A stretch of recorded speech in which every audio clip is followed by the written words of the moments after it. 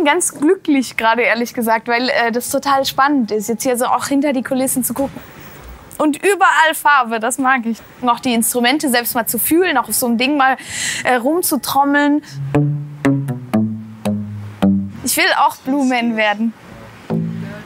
Gibt es weibliche Blue Mans? Ich glaube, das ist ein ganz toller Job. Also ich glaube, das macht total Bock. Auch diese, diese Rollen, die die spielen. Ne? Du, du lernst die vorher kennen und das sind halt ganz normale Dudes.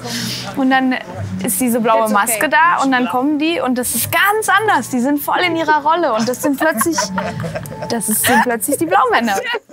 Wie sieht denn eine Zusammenarbeit aus mit mir? Also hüpfen die jetzt da rum und ich mache einfach das gleiche wie immer, aber das ist ja irgendwie auch komisch. Also ich konnte mir das gar nicht so richtig vorstellen, ob die jetzt zu meinem Song einfach irgendwas dazu trommeln oder ob ich auch noch blau angeschmiert werde, keine Ahnung.